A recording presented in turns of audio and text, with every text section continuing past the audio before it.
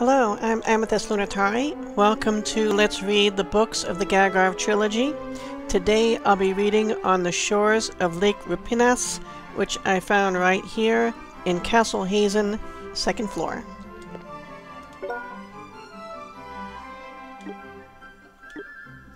On the shores of Lake Rupinas. Fenthi, which lies along the shores of Lake Lupenas, is divided into two areas, the north and the south. The north is governed by King Enaton, while the south is ruled by his younger brother Kalak. Originally, Haizen in the north was the only capital, but the king divided the country at the births of his twin princes. A mansion was built in Haruku. The king wished that the two princes would build a new nation. Thus the twin capitals of Haruku and Haizen were born. The king wished that his sons would build a better country together. The brothers developed a rivalry in the building of the country, competing in just about everything.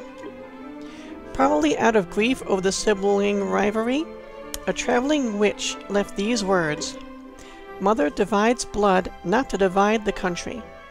They sound a word of caution for the future of Fenthi. Thank you for listening to Let's Read the Books of the Gagharv Trilogy on the shores of Lake Rupinas.